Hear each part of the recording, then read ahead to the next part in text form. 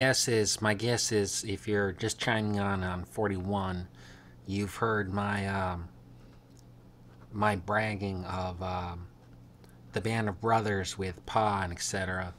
Um, they helped raise me. Him and his him and his cool guy friends. Not all of his guy friends, but his cool guy friends that also dug the dead besides and would help raise me for a long while.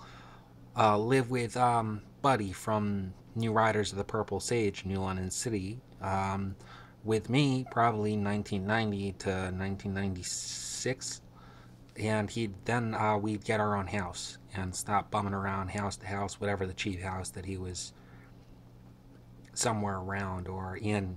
You know, he may have very well been a homeowner of the house that I was living in um, before great grandmother left us the house that I'm coming into in a couple of uh, five, ten, or fifteen years, whenever the man upstairs retires, so to speak. Anyway, that's not a joke. I was, uh, um, and I met all the, the rest of the original surviving members of the band, you know, around the time Built to Last was the most popular album, and I guess there was also In the Dark and Go to Heaven may have been somewhat popular, but